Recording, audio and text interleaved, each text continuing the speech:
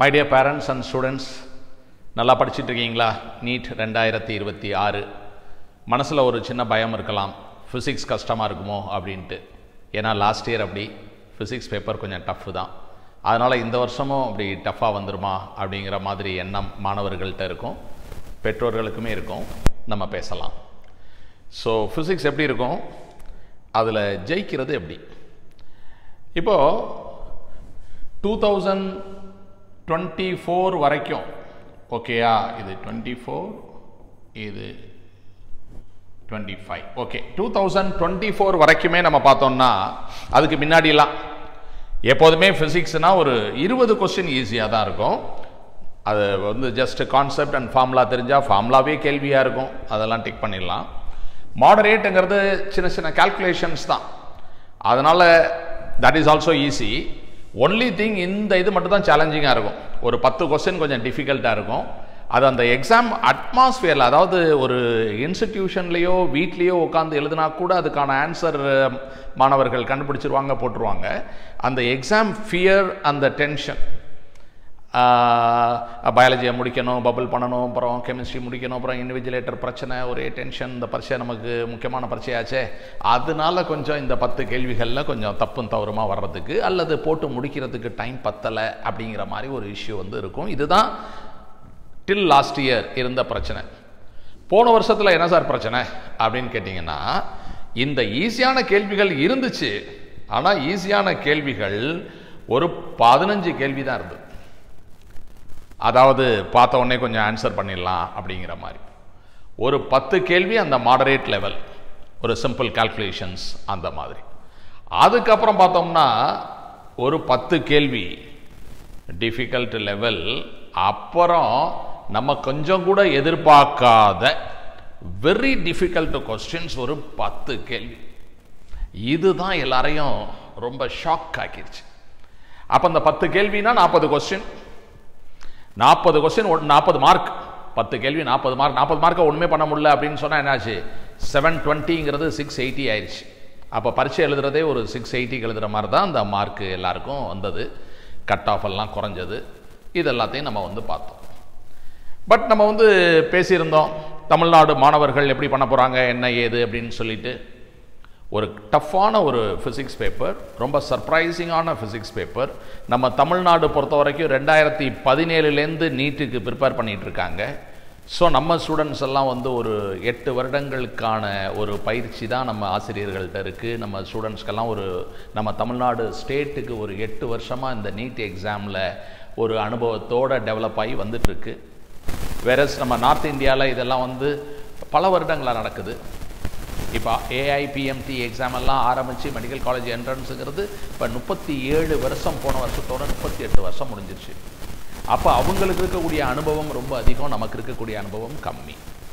இப்படிப்பட்ட சூழ்நிலையில் இப்போ ஒரு டஃப் ஃபிசிக்ஸ் பேப்பரை வந்து compared to North Indian all other states other than Tamil Nadu states மாணவர்கள் எப்படி பண்ண போகிறாங்க நம்ம ஆட்கள் எப்படி பண்ண போகிறாங்க அப்படிங்கிறது ஒரு பெரிய சேலஞ்சாக தான் இருந்தது.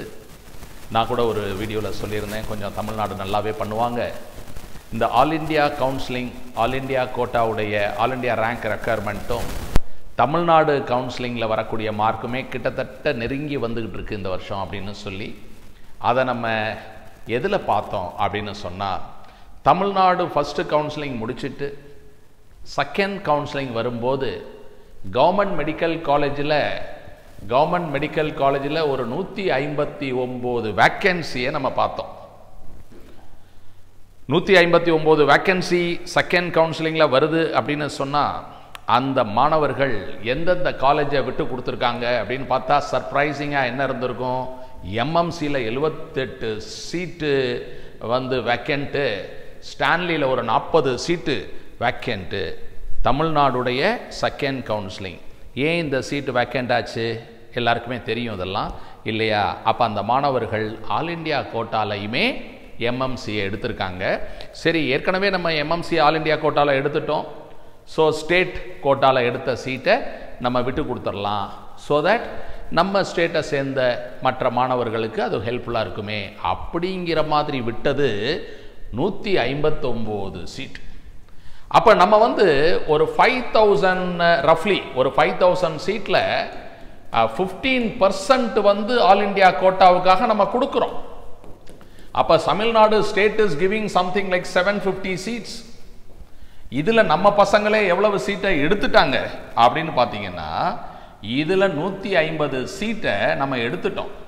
அப்போ ஆக்சுவலி நம்ம எவ்வளோ கொடுத்துருக்கோம்னா சிக்ஸ் ஹண்ட்ரட் சீட்ஸ் அப்போ fifteen பர்சன்டில் three percent we have got it back then twelve percent has gone to other state students other state students seat எடுக்கக்கூடாது படிக்கக்கூடாது அப்படிங்கிற எண்ணமெல்லாம் எனக்கு இல்லை. பட் நான் வந்து என்ன நடந்துச்சு அப்படிங்கிறத சொல்கிறேன் ஒரு சந்தோஷமான விஷயம் வந்து இவ்வளவு கஷ்டமான ஒரு ஃபிசிக்ஸ் பேப்பரில் இவ்வளவு புதுசாக இந்த களத்துக்குள்ளே இறங்கின தமிழ்நாடு வந்து ஒரு த்ரீ பர்சன்ட் ஆஃப் த சீட்ஸை கேப்சர் பண்ணியிருக்கு for the very first time this year அப்படிங்கிறது ரொம்ப ஒரு சந்தோஷமான விஷயம். நிறைய பேர் இப்போ நான் சொல்கிற விஷயத்தை கேட்டு ஒரு சில பெற்றோர்கள் மாணவர்கள் கூட ஒரு சின்ன ஸ்மைல் வந்து பண்ணுவீங்க. அது என்னென்னா உங்களில் நிறைய பேர் அந்த மே மாதம் ஞாயிற்றுக்கிழமை நாலாம் தேதி பரீட்சை முடிச்சிட்டு வந்து கதறி அழுதுங்க. ஐயோ என்னடா கொஸ்டின் பேப்பர் இவ்வளோ டஃப்பாக இருக்குது ஐயோ என்னடா அது அப்படின்னு அழுதுகிட்டே வழியில் வந்த ஒரு சில பேர் இன்னைக்கு கவர்மெண்ட் மெடிக்கல் காலேஜில் உட்காந்துருக்கீங்க உங்களுக்கே அது ஃபன்னியாக இருக்கும் நினச்சி பார்த்தீங்கன்னா நம்மெல்லாம் ஜெயிச்சிட்டோம். நமக்கெல்லாம் கவர்மெண்ட் மெடிக்கல் காலேஜில் எம்பிபிஎஸ் கிடச்சிருச்சு. ஆனால் பரீட்சை விட்டு வெளியில் வரும்போது கதறி அழுதோமா இல்லையா? அப்போ என்ன காரணம் அப்படின்னா நம்ம மனசில் இருந்தது ஒரு சிக்ஸ் ஃபிஃப்டி வாங்கணும் செவன் ஹண்ட்ரட் வாங்கணும். அங்கே போய் எக்ஸாம் எழுதிட்டு வரும்போது ஓ அவ்வளோ மார்க் வர வாய்ப்பு இல்லையே. அப்படிங்கிறதுனால வந்தது தான் அந்த பயம் அந்த கவலை. ஆனால் நம்ம வாங்கின மார்க்கு ஐநூற்றி முப்பது ஐநூற்றி நாற்பது ஐநூற்றம்பது அதுவே நல்ல மார்க் தான். சீட்டு கிடச்சி போச்சு அப்படிங்கிறப்ப இப்போ ஒரு சந்தோஷம். சரி அடுத்த வருஷம் எப்படி சார் இருக்கும்? அப்படிங்கிறத பற்றி தான் நம்ம பேசுகிறதா இருக்கோம். என்ன நடக்க போகுது அடுத்த வருஷம்? அப்படின்னா கண்டிப்பாக இப்போ பயாலஜிலாம் முன்னாடி கொஞ்சம் ஈஸியாக இருந்தது. அதுக்கப்புறம் வந்து ஒரு ஸ்டேட்மெண்ட் அசோஷன் ரீசன் மல்டிபிள் ஸ்டேட்மெண்ட்டுங்கிற ஃபார்மேட்டுக்கு வந்த பிறகு நம்ம என்டிஏ திரும்பி போகல.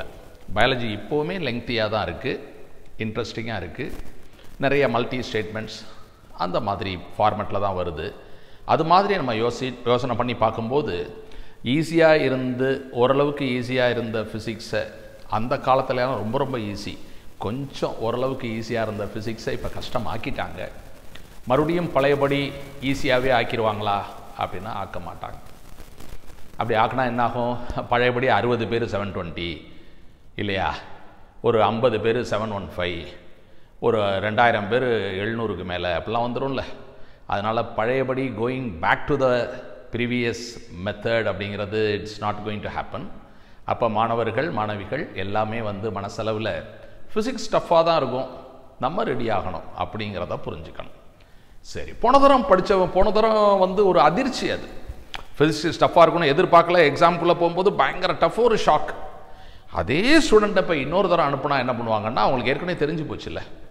அவங்க கரெக்டாக மேனேஜ் பண்ணி ஓகே பேப்பர் கஷ்டமாக இருக்கும் கரெக்டாக ஹேண்டில் பண்ணணும் பயாலஜி கெமிஸ்ட்ரி நல்லபடியாக பண்ணிடணும் ஃபிசிக்ஸில் மேக்ஸிமம் ஒரு இருபது முப்பது கணக்கு போட்டுறணும் நல்ல மார்க் வாங்கிடணும் அப்படிங்கிற தெளிவு அவங்களுக்கு வந்துடும் இல்லையா? அந்த தெளிவோடு தான் இந்த வருஷம் பரீட்சைக்கு எல்லாரும் போக போகிறீங்க அப்போ டுவெண்ட்டி டுவெண்ட்டி சிக்ஸ் எக்ஸாமுக்கு போகும்போது மனசளவில் ஒரு தெளிவு ஒரு தைரியம் ஓகே ஒரு டிஃபிகல்ட் ஃபிசிக்ஸ் பேப்பர் நான் ஹேண்டில் பண்ணிடுவேன் அப்படின்ட்டு. நான் கூட ஸ்டூடெண்ட்ஸ் நிறையா பேர்கிட்ட இன்ட்ராக்ட் பண்ணும்போது கேட்டேன். உங்களுக்கு எந்த டைப் வந்து பிடிச்சிருக்கு? இந்த டுவெண்ட்டி டுவெண்ட்டி ஃபோர் ஒரு ஓரளவுக்கு ஈஸியான பேப்பர் கட் ஆஃப் அறநூற்றி பதினெட்டு மார்க் வாங்கின பிசி பையனுக்கு அறநூற்றி பதினெட்டு வாங்கினா கிடைக்கல அறநூற்றி பத்தொம்போதுக்கு கிடைக்கிது. இந்த சூழ்நிலை உனக்கு ஓகேயா? இல்லை ரெண்டாயிரத்தி இருபத்தி அஞ்சு இப்போ உள்ள எக்ஸாம் வந்து difficult exam BC cut off ஐநூற்றி ஏழு ஐநூற்றி எட்டு இது ஓகேயா அப்படின்னா நிறைய பேர் என்ன சொல்கிறாங்க சார் இது ஓகே சார். டிஃபிகல்ட்டாகவே வரட்டும் சார். கட் ஆஃப் கம்மியாகவே இருக்கட்டும். அறநூற்றி பத்து மார்க் வாங்கினா கூட கிடைக்கல. அப்படிங்கிற மாதிரி ஒரு இது வேண்டாம். அப்படிங்கிற மாதிரி தான் மக்கள் எல்லா மாணவர்களும் நினைக்கிறாங்க. சரி ஓகே சார். கஷ்டமாகவே ஃபிசிக்ஸ் வருது. அதுக்காக நீங்கள் என்ன சார் செய்ய போகிறீங்க அப்படின்னு சொன்னால் டெஃபினட்டாக உங்களுக்கு ஹெல்ப் பண்ண போகிறேன் என்ன ஹெல்ப் அப்படிங்கிறத இப்போ பாருங்கள் இது என்ன அப்படின்னா ஃப்ரீ நீட் மாடல் எக்ஸாம் இதில் அருமையான ஃபிசிக்ஸ் பேப்பர் கொண்டு வருவேன்.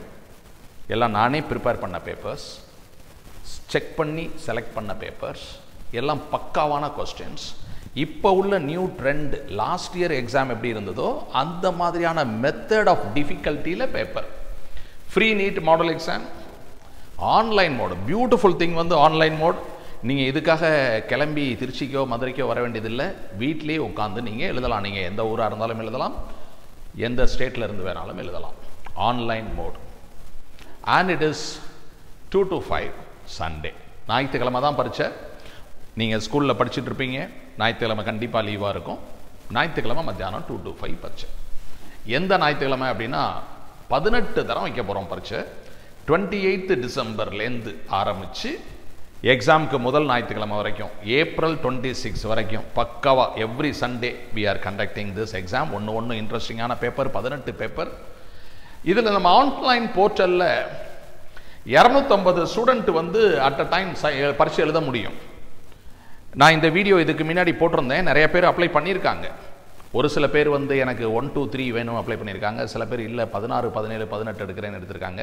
சில பேர் சிக்ஸ் ஜாக் அப்படி எடுத்திருக்காங்க. நிறைய பேர் எல்லா பரீட்சையும் எழுதுறேன்னு எழுதியிருக்காங்க. அந்த மாதிரி நிறைய புக்கிங்ஸ் வந்து நடந்துகிட்ருக்கு two fifty students can write the exam at one go அப்போ ஃபஸ்ட்டு ஞாயிற்றுக்கிழமை நம்ம எழுதணும் அப்படின்னு சொன்னால் உடனே நம்ம புக் பண்ணணும். ரெண்டாவது ஞாயிற்றுக்கிழமை எழுதணும்னா புக் பண்ணணும். எப்படின்னு நான் சொல்கிறேன் ஸோ மாடல் ஒன் வந்து twenty eighth December model two fourth January model த்ரீனா லெவன்த்து ஜனவரி இந்த மாதிரி இந்த பரீட்சை நடக்குது. டுவெண்ட்டி சிக்ஸ்த்து ஏப்ரல் வரைக்கும். அதுக்கு அடுத்த சண்டே வந்து ஆக்சுவல் நீட் எக்ஸாம் ஓகே ஒரு லிங்க் ஒன்று டிஸ்கிரிப்ஷனில் கொடுக்குறேன். அந்த லிங்க்கை நீங்கள் கிளிக் பண்ணி பதிவு பண்ணிக்கலாம். இட் இஸ் டோட்லி ஃப்ரீ ஓகேயா டோட்லி ஃப்ரீ அப்படி இல்லைன்னா லிங்க் உங்களுக்கு அனுப்பணும் அப்படின்னா இந்த ஃபோன் நம்பருக்கு நீங்கள் வந்து வாட்ஸ்அப் பண்ணிங்கன்னா லிங்க் உங்களுக்கு அனுப்பலாம். அது தேவையில்லை. டிஸ்கிரிப்ஷனில் இருக்குது நீங்கள் கிளிக் பண்ணி கூகுள் ஃபார்மை ஃபில்லப் பண்ணலாம். ஃபில்லப் பண்ணி நீங்கள் சப்மிட் பண்ணிடலாம் ஸோ இது ஃப்ரீ என்ரோல்மெண்ட் எல்லா பார்ட்டிசிபெண்ட்டுக்குமே எக்ஸ்ட்ராவாக என்ன கிடைக்கிது அப்படின்னா இது அருமையான ஒரு பரீட்சை கொஸ்டின் பேப்பர் கிடைக்கிது. முக்கியமான விஷயம். ஒரு நல்ல ஒரு ஸ்டாண்டர்ட் கொஸ்டின் பேப்பர் கிடைக்கிது. அதுக்கான கீ கிடைக்கிது. தென் ஒரு சில கொஸ்டின்ஸ்க்கெல்லாம் எப்படி சால்வ் பண்ணணும் தெரியல அப்படின்னா அந்த சொல்யூஷன் அதிலே வருது ஸ்கோர் வருது. பர்சன்டைல் ஸ்கோர் வருது. இது ஆன்லைன் எக்ஸாம் சப்மிட் பண்ண உடனே உங்களுக்கு கம்ப்ளீட் டீட்டெயில்ஸ் வந்து கிடைக்கும். உங்களுடைய ரேங்க் என்ன அப்படின்னு தெரிஞ்சுக்க முடியும். டாப் டென் ஸ்டூடெண்ட்ஸ் யாருன்னு பார்க்க முடியும். Time spend for each question ஒவ்வொரு ஒரு சில கொஸ்டினில் நீங்கள் ரொம்ப நேரம் உட்காந்துட்டீங்களா அப்படிங்கிறதெல்லாம் கூட நீங்கள் தெரிஞ்சுக்க முடியும். One eighty question one eighty minutes அப்படிங்கிறப்போ நீங்கள் லெஸ் தேன் ஒன் மினிட் எடுத்து போட்டுக்கிட்டே இருக்கிறதெல்லாம் ஓகே தான். But more than one minute or sometimes two minutes three minutes இருக்கக்கூடிய கேள்விகள் எது? அதுதான் உங்களுடைய வீக்னஸ் ஏரியா அதை நீங்கள் வந்து கரெக்ட் பண்ணிக்கணும். நல்லா படிச்சுக்கணுங்கிறது தான் அதுலேருந்து நீங்கள் கற்றுக்க முடியும். தென் ஒரு கிராஃபிக்கல் ரெப்ரசன்டேஷன் அது இதெல்லாமே உங்களுக்கு இதில் கிடைக்கும். அதுக்கப்புறம் பார்த்தோம்னா ஒரு அருமையான ஃபிசிக்ஸ் ப்ராப்ளம் புக்கு உங்களுக்கு by courier we will send to your address this is also free இதில் ரெண்டு புக் இருக்குது ஒன்று லெவன்த்து ஸ்டாண்டர்ட் ஒன்று டுவெல்த்து ஸ்டாண்டர்ட் ஒரு ஒரு புக்லேயும் நிறைய ப்ராப்ளம்ஸ் வித் சொல்யூஷன்ஸோடு இருக்குது ஒரு லெசனுக்கு நூற்றி முப்பத்தி அஞ்சு ப்ராப்ளம் இருக்கும் ஆக்சுவலி த்ரீ டெஸ்ட் பேப்பராக அது இருக்கும். ஒரு டெஸ்ட்டுங்கிறது ஃபார்ட்டி ஃபைவ் கொஸ்டின் அதனால் நிறைய கொஸ்டின்ஸ் வந்து உங்களுக்கு அதில் சொல்யூஷனோட கிடைக்கும். அதுக்கப்புறம் டாப் த்ரீ ஸ்டூடெண்ட்ஸுக்கு மட்டும் கேஷ் ப்ரைஸ் அது அந்தந்த டெஸ்ட் முடித்த உடனே சண்டே அன்னைக்கு பரிச்சை முடியுது. மண்டே அன்னைக்கு அந்த uh, ஸ்டூடெண்ட்டுடைய ஜிபே நம்பரை வாங்கி அந்த ஃபைவ் தௌசண்ட் உடனே கொடுத்துருவோம். இந்த ஃபைவ் தௌசண்ட் யாருக்கு கிடைக்கும் அப்படின்னா rank one rank two rank three அவங்களுக்கு கிடைக்கும். ஒவ்வொரு ஸ்டூடெண்ட்டும் மூணு பரீட்சை ஃப்ரீயாக எழுதலாம். அதாவது இந்த பதினெட்டு பரீட்சையில் any three exam you can write free இல்லை சார் நான் எல்லாத்தையுமே எழுதணும் அப்படின்னு விருப்பப்பட்டீங்கன்னா எழுதலாம். அதுக்கு ஒரு ஹண்ட்ரட் ருபீஸ் மட்டும் பே பண்ணுற மாதிரி இருக்கும். ஸோ உங்கள் விருப்பம் தான் ஓகேயா லிங்கை கிளிக் பண்ணுங்கள் பரீட்சைக்கு பதிவு பண்ணுங்கள் தேங்க்யூ ஃபார் வாட்சிங்